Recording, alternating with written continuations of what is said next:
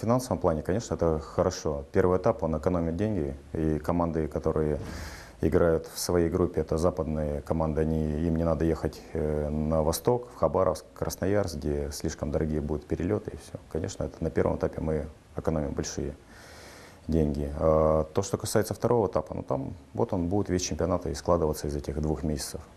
А в чем смысл вообще первого этапа, если очки, ну, по сути, не учитываются? Сначала все задавали такой вопрос, что не будет интереса, и игрокам будет не настолько интересно играть, потому что очки не учитываются. Все игроки профессионалы, и поверьте, каждая игра, она очень важна, и первая, и вторая, последующая. Повлиял ли новый формат на то, что молодежи дают больше шанс играть?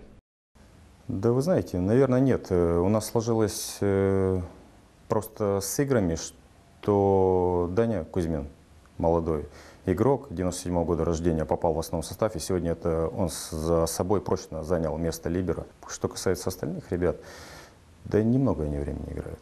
Но с другой стороны, вот опять же, матчей стало значительно больше. Как это сказывается? График-то ведь напряженный. График очень напряженный. Если мы сыграли последние 10 матчей подряд, э, мы дали ребятам отдохнуть неделю вообще. Потому что, говорю, у многих там э, паха поддернутые, если так говорить, в хоккейном смысле слова, травмы.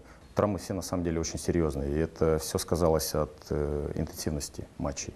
Мы все-таки, говорю, такой вид спорта, который нужны перерывы. Вторая игра подряд, она негативно сказывается в целом для игроков.